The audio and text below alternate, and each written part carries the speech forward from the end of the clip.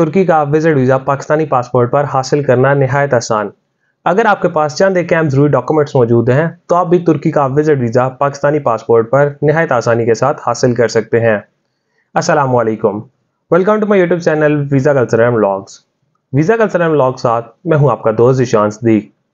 अगर अभी तक आपने हमारा यूट्यूब चैनल सब्सक्राइब नहीं किया तो आपसे रिक्वेस्ट है, हमारा यूट्यूब चैनल सब्सक्राइब कर लें और साथ में बेल आइकन लाजमी प्रेस कीजिएगा, ताकि आने वाले जो भी व्लॉग हो वीज़ा इन्फॉर्मेशन हो वो आपके पास टाइम बाय टाइम पहुँच सकें। आज के इस व्लॉग में हम बात करेंगे तुर्की विज़िट वीज़ा के बारे में। अगर आप पाकिस्तानी पासपोर्ट पर स्टिकर वीज़ा हासिल करना चाह रहे हैं और आपके पास चंद एक अहम ज़रूरी डॉक्यूमेंट्स मौजूद हैं और आप ट्रैवल हिस्ट्री बनाना चाह रहे हैं तो आप नहायत आसानी के साथ तुर्की का विज़िट वीज़ा पाकिस्तानी पासपोर्ट पर हासिल कर सकते हैं। इसके लिए कोई ज़्यादा डॉक्यूमेंट्स नहीं चाहिए होते और पाँच से छः वर्किंग डेज़ के अंदर आप तुर्की का स्टिकर वीज़ा हासिल कर सकते हैं। इसकी फ़ीस थोड़ी सी ज़्यादा है, लेकिन अगर आप ट्रैवल हिस्ट्री बनाना चाह रहे हैं तो आप थाईलैंड, मलेशिया, इसके साथ आप तुर्की को भी अपने ट्रैवल प्लान में शामिल कर सकते हैं। तुर्की का विज़िट वीज़ा हासिल करने के लिए इसके लिए डॉक्यूमेंट सबमिट करवाए जाते हैं। आपको अनतोलिया ट्रैवल सर्विसेज़ में आप डॉक्यूमेंट सबमिट करवाते हैं। आपको डायरेक्ट एम्बेसी एक्सेस नहीं होता। और जहाँ तक बात है डॉक्यूमेंट्स कौन से चाहिए होते हैं? डॉक्यूमेंट्स में फ़र्स्ट ऑफ़ ऑल आपका पासपोर्ट पासपोर्ट आपका सिक्स मंथ वैलिड होना चाहिए और एक ब्लैंक पेज होना चाहिए।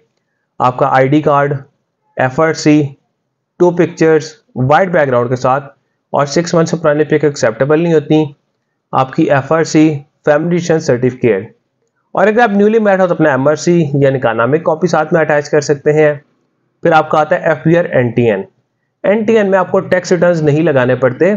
अगर आपका टैक्स रिटर्न हैं तो अपनी फ़ाइल में अटैच कर सकते हैं।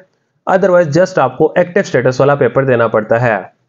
उसके बाद आपके सोर्स ऑफ़ इनकम आते हैं। अगर आप एम्प्लॉय हैं तो एम्प्लॉयमेंट लेटर एनओसी और लास्ट रिमंथ की सैलरी सिप्स आती हैं। और अगर आप गवर्नमेंट एम्प्लॉय हैं तो गवर्नमेंट एनओसी लेटर लास्ट रिमंथ की सैलरी सिप्स और गवर्नमेंट एम्प्लॉय कार्ड की कॉपी चाहिए होती है।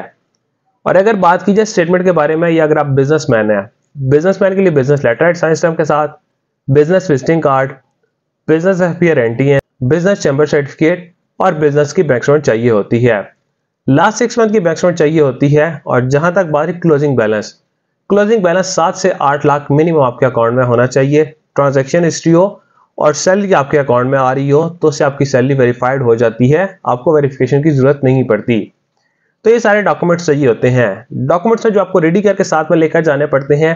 उसमें आपकी टिकट आइटनरी आती है। आपकी hotel booking confirm hotel booking चाहिए होती है। Visa cover letter travel plan COVID vaccination card ये सारे डॉक्यूमेंट्स लेकर आप अनतोलिया ट्रैवल सर्विसेज़ में जाते हैं।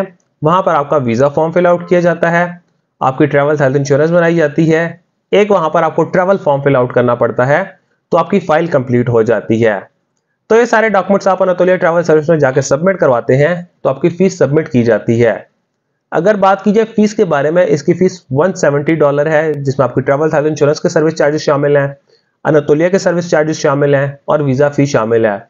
जो पाकिस्तानी रुपीज़ में round about fifty three thousand से लेकर फिफ्टी फाइव थाउज़ेंड का राउंड अबाउट उसकी विज़िट वीज़ा फ़ी बनती है।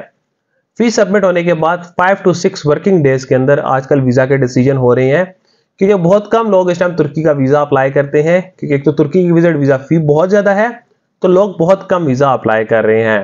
तो 99 परसेंट पाकिस्तानी पासपोर्ट पर तुर्की का विज़िट वीज़ा आपको मिल जाता है। और अगर आप ई वीज़ा हासिल करना चाह रहे हैं तो आपका शेंजन कंट्रीज़ का वैलिड वीज़ा होना चाहिए यूके यूएस कनाडा का अगर वैलिड वीज़ा है तो आपको तुर्की का ई वीज़ा भी आसानी से मिल जाता है।